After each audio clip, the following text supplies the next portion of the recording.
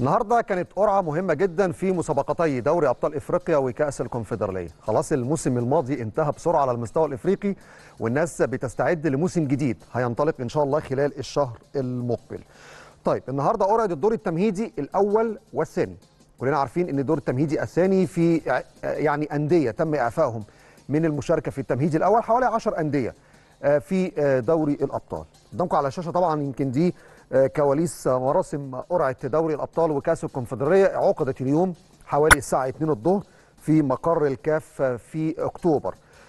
بدأوا الأول بدوري الأبطال وزي ما قلت لحضراتكم كان في إعفاء لحوالي 10 أندية من الدور التمهيدي الأول اللي هو دور ال 64 إعفاء ترجي بلوزداد حرية كوناكري الغيني الأهلي بيراميدز ماميلودي صن داونز سيمبا التنزاني بيترو اتلتيكو الانجولي تي بي مازيمبي الكونغولي. وبالتالي العشر أندية دول كانوا مستنيين يعرفوا الفائز من الدور ال 64 عشان يواجهوهم في دور ال 32 وبالفعل زي ما أنتم شايفين على الشاشة قدامكم طبعا يعني بعد تحديد الأندية المعفاه اتعرفت المواجهات بالنسبة لدور ال 64 وكمان في حالة تأهل مواجهات دور ال 32 طيب في دور ال 64 في مباراة ما بين حافيا كوناكري الغيني مع جنراسيون فوت السنغالي.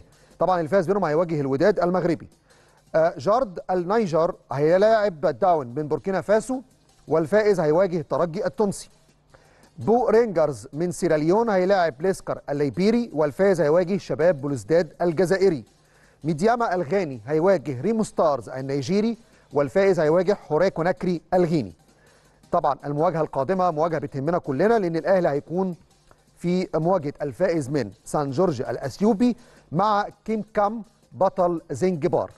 كلنا عارفين إن في مواجهة ما بين سان جورج وكيم كام بطل زنجبار. الفائز بينهم هيواجه الأهلي في دور ال 32 ومعيار القرعة برضو كان مرتبط بنقطتين.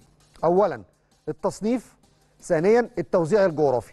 عشان المواجهات ما تكونش فيها صدامات قوية وقدر الإمكان بيحاول الكاف بيتجنب المواجهات القوية في الأدوار الأولى حرصا على فكرة برضو إن يكون في منافسات قوية في الأدوار المقبلة وكمان مع مراعاة السفر والمناطق الجغرافية نتيجة كلنا عارفين طبعا صعوبات السفر في القارة الإفريقية.